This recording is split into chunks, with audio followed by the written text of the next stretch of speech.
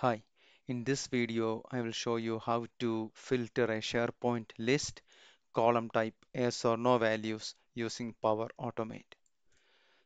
So this is my list, it's called list A and I got a column called open points W which holds yes or no values here. So let's go back to list settings, click the relevant column which is the yes or no value here and that's a checkbox. So, so, to find the schema name for the filters, always um, you know go to the edit column and at the end of the URL, you know make sure this is the name you need to use in the Power Automate. You can see here the column name has some spaces, which is a display name. So this the column name is the display name and the schema name is the field name, which which we need to use for for filtering the values. Also under my list A, I got one record which is set to yes here. So let's go and build the Power Automate. So here I'm using a manual trigger. The next step, I need to use SharePoint connector. And here I am after get items.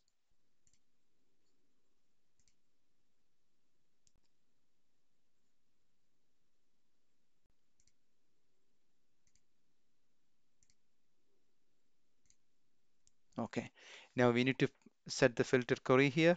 So use the schema column name, which is open points W is equal to, make sure we need to use one here.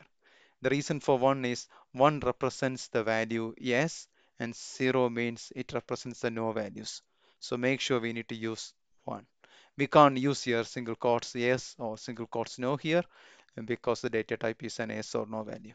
Okay. The next step, we need to use a compose.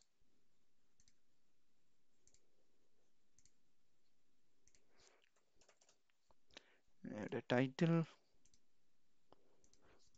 dash open points W. Okay, let's test this. Also, you make sure uh, you, you might have seen that there is an apply to each being um, inserted by the flow. The reason for this is because the get items can return more than one records.